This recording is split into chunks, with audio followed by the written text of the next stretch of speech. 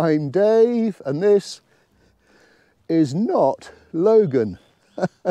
As regular viewers will know, Logan normally comes out on uh, walks with me. This is Fiver, my youngster. Logan's actually at home today, taking it nice and easy, resting on the couch. But I'm delighted that uh, young Fiver is going to join me as a special guest on the walk.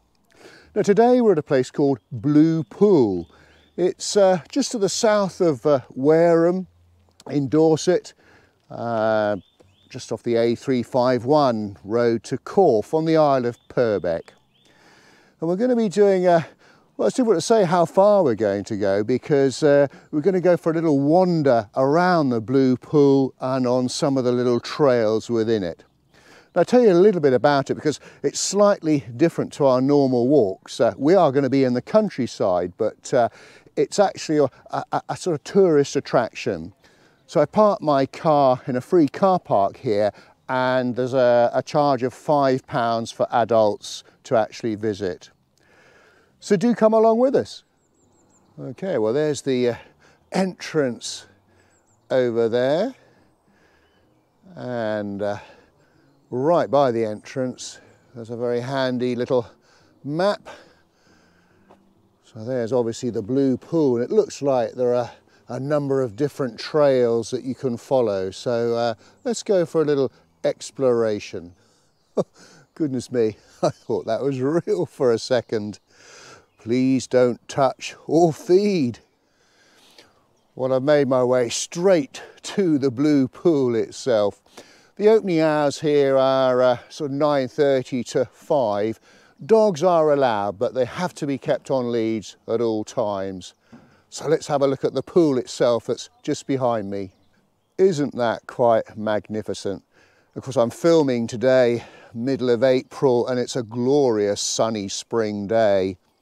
I'll tell you a little bit of history about it. Um, basically clay was dug up here between the mid 17th century and the, the early 20th century and it's basically a flooded disused clay pit about 30 foot deep and it was hand dug in the 1800s and it sits in 150 acres of land as part of the Furzebrook estate.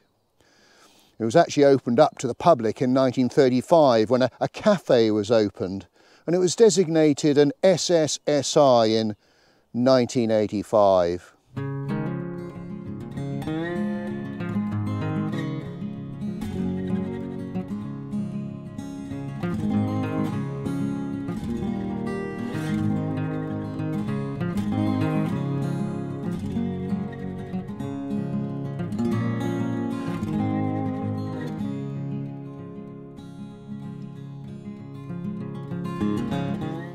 Well, I'll tell you, this walk's not going to be a particularly long walk, but it's a place that I've always wanted to, to visit. And this pool really is quite magnificent. And from up here on the ridge, you really do get some uh, great views of it. And you certainly get some great colours sort of bright turquoisey green and then parts of it are grey and reddish brown and the colours change due to the, the light refraction from the clay particles in the pool. I'm no expert but uh, apparently anyway the light gets refracted depending on the actual size of the, the clay particles. So the pool itself may appear darker, a sort of more inky blue depending on the time of day depending also on the weather and how the sky is reflected on the surface. The actual blue um, is the reflection from the sky. And going back to the days when they extracted clay from here, the ball clay was very good for ceramic products such as um, cups, plates, teapots and smoking pipes. Well, you can tell that uh, I'm filming around about Easter time, lots of bunnies and Easter eggs dotted around the place. Great place to take the kids, I should imagine. Well, I tell you, everywhere you stop and then look to the pool, you get some quite unique views, especially when it's through the uh, pine trees here. It really is a place of peace and tranquility.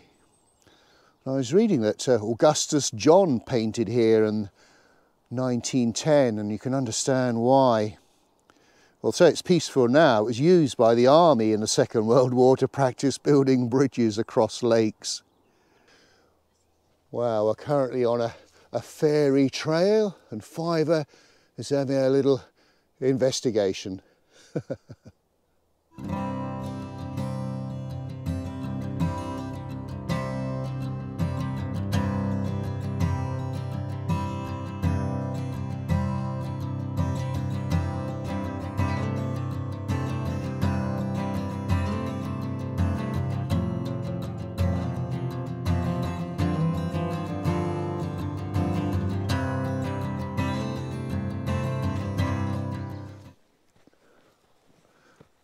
doing some investigating up here. Logan would love this sand. Ah, anything interesting in that hole to report back on? Dead end. We're now on, I think this is the sort of southern side of the pool, looking where the sun is. And I just, I say that there are different colours. I don't know if this is coming across on the GoPro or not, but uh, I just love the reflections as well. And over on the very far side, the, of course, the yellow gorse out in all its glory in the morning spring sunshine. There's so many uh, seats dotted around the pool.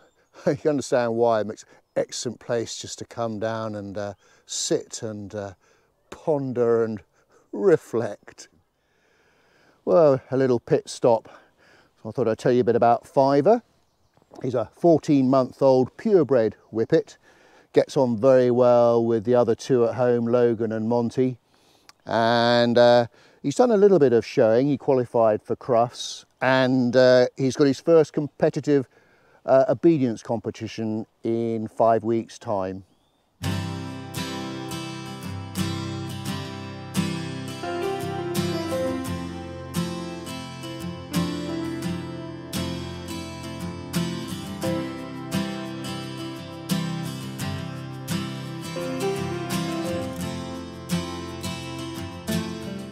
We're now on the northern bank and as well as uh, some magnificent views of the pool, just the surrounding landscape is uh, quite picturesque as well.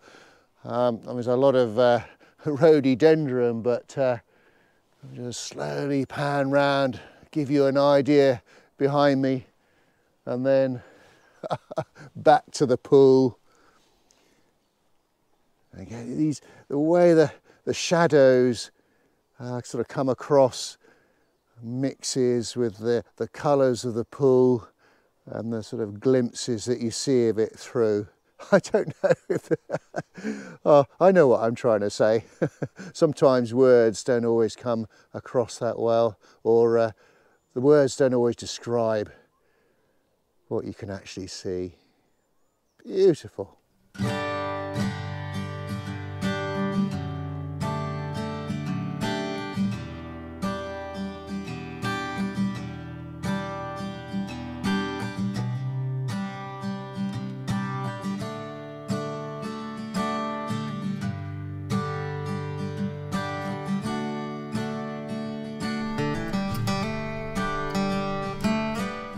And one thing that you mustn't forget if you're coming here for a walk, don't forget to bring your camera. You'll get some terrific shots.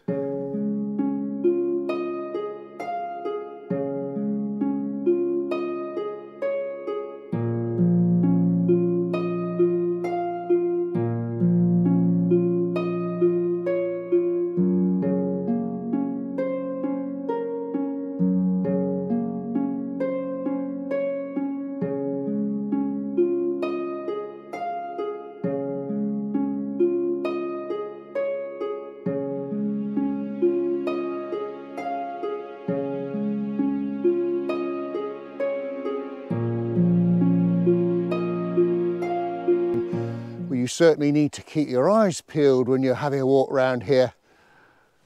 You never know what you might come across. Look at this chap standing behind me here. now, where's my uh, chief investigator? Can you just check this chap out for me? He's not too sure he says, you're big. Yeah, sniff under there, typical dog. right, well this must be very much on the, uh, the fairy trail, number three. So, lead on fiver. Goodness knows where this is going to take us.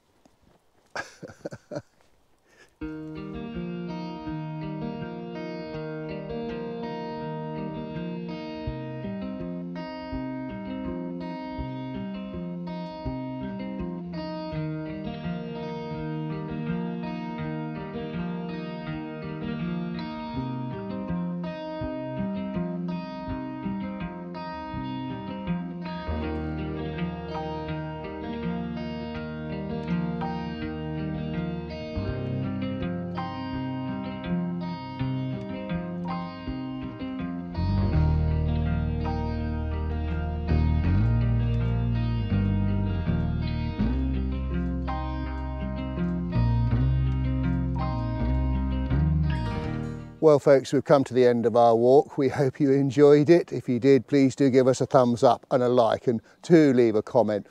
Not the longest walk we've ever done, but hopefully you found it interesting. We're finishing off with a cup of tea, a pasty and a, well, a sausage roll for five. He's been a good boy, hasn't he? Whoops.